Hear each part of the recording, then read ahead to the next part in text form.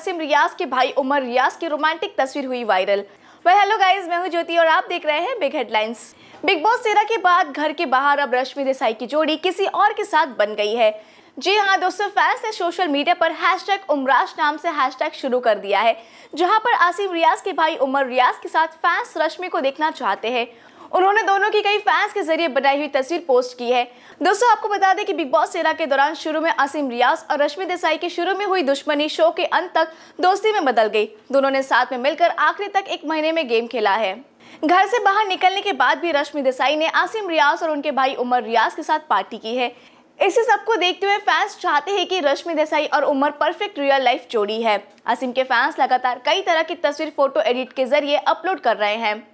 जहाँ पर इन दोनों की जोड़ी को नंबर वन बताया जा रहा है। आपको बता दें कि शो से बाहर रहकर उमर रियाज ने अपने भाई असीम रियाज के साथ रश्मि देसाई को भी काफ़ी सपोर्ट किया है। फैंस बैक टू बैक दोनों की कई एडिटेड तस्वीरें पोस्ट कर रहे हैं। इसे हैशटैग उमराज का नाम भी दिया गया है। दोनों के साथ में डांस करती हुई तस्वीर भी फैंस ने शेयर की है। सलमान खान के साथ एक तस्वीर एडिट करके एक फ़ैन ने शेयर किया है। तो इतना तो तय है कि बिग बॉस तेरह के बाद रश्मि देसाई और सिद्धार्थ शुक्ला का क्रेज फ़ैन से उतर गया है। अब लोग रश्मि को उमर के साथ देखना चाहते हैं।